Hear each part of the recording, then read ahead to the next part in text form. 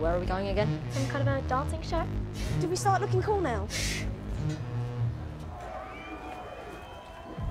Your mate? Sorry. It's such your low voice. So, sorry. How old are you guys? Do your mums know you're here? Yeah. You're not getting in? But I'm, um, I'm a mate of the DJ. Which one?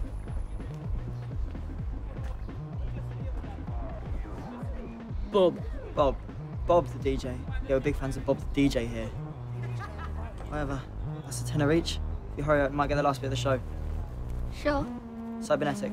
They're relatively good at dancing. Do you have change for 250s?